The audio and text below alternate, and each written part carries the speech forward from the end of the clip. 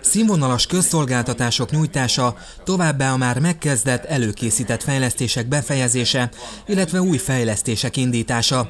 Ez a két fő célja a város 2017-es költségvetésének, amit csak nem 7,5 milliárd forintos bevételi főösszeggel, 11 igen szavazattal és három tartózkodással fogadtak el a városatyák.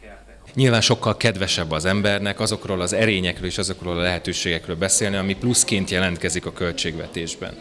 Ilyen például az a négy dolog, amit ugye a, rögtön a költségvetés elején kiemeltem a, a vita kapcsán, az egyik a főtér ami számtalan képviselőnek, városlakónak, főépítésznek és nagyon sok mindenkinek kérése volt már, hogy induljon el.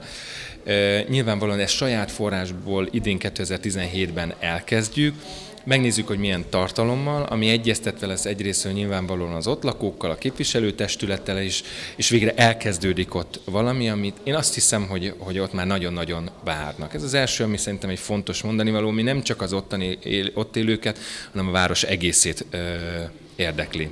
Egész biztos az, hogy a közétkeztetés kapcsán azért közel 3000 gyermek vagy felnőtt étkezik a köz, központi konyhánkról. Az, hogy ennek a technológiai fejlesztésére mindig fokozottan oda kell figyelnünk, és az, hogy valami folyamatos tényszerű dolgokat kapjunk erről, az szintén nagyon fontosnak tartjuk, és az, hogy, hogy már más nagyobb városokban bevezetett A-B menü közötti választási lehetőség megadatik egy, egy gyermek vagy egy felnőtt számára a közétkeztetésben, ez egy újabb lépcső tud lenni, ami az egyrészt, hogy nyilván a költségvetésből biztosítunk forrást, és maga a cég bonyolítja le az ehhez kapcsolódó szoftvervásárlást és minden mást. Ez új technológiát jelent, ez új statisztikákat jelent, és természetesen az igények pontosabb és jobb kielégítését tudja jelenteni.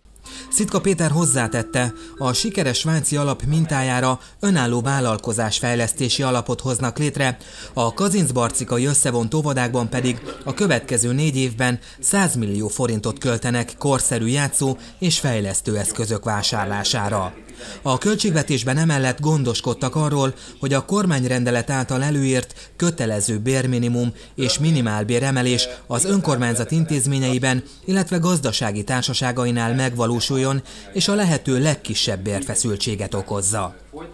A helyi adónemek felülvizsgálata kapcsán a többségi frakció támogatta Kondorné Sztojka Ágnes Fidesz frakcióvezető kezdeményezését, miszerint a legfeljebb 1 millió forintos bevétellel rendelkező vállalkozásoknak a felére csökkentik az iparűzési adóját sorokat szerettem volna, hogyha változtatásra kerülnek a, az adó csökkentése érdekében, amit akkor még nem tudott befogadni a képviselőtestület, de délutánra kellőképpen elfáradtunk, és a többségi frakció is rábólintott arra, hogy az adóterheknek egy része csökkentésre kerül a városban, ami nagyon nagy eredménynek tartok, hogy a javaslatunkra befogadásra került ez, igaz módosított formában, de azért elértük azt, hogy az iparizési adóban a kisvállalkozások egy szegmensének, akiknek 1 millió forintig van bevételük, azoknak 50%-os adócsökkentésben lesz részük a tervezett elfogadása után.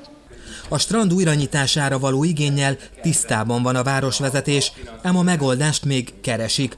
A jégpályával kapcsolatban viszont jó hír, hogy egy 13 millió forintos hűtőberendezés beszerzésével megteremthetik a korcsolyázás feltételeit, akár a régi, akár egy új létesítményben. A tanácskozáson a képviselők tudomásul vették a helyi német, roma és lengyel nemzetiségi önkormányzatok tavalyi működéséről szóló beszámolókat. A három szakmai anyag közül a németekét egyöntetűen dicsérték. A testület módosította a településképi véleményezési, bejelentési és kötelezési eljárásról szóló 2013-as és az épített környezet értékeinek védelméről szóló 2014-es rendeletét. Az első rendelet módosítással kapcsolatban fontos kiemelni, a képviselőtestület a településképi követelmények megszegése vagy végre nem hajtása esetére e magatartás elkövetőjével szemben 1 millió forintig terjedő településképi bírság kiszabását rendelheti el. A 2017-es költségvetésről és a március 1 munkaterv szerinti ülésről további részleteket tudhatnak meg a KVTV március 6-án este 6-tól adásba kerülő Testületi Napló című műsorából, illetve a Color 7 március 10-i lapszámából. első nekirukaszkodásra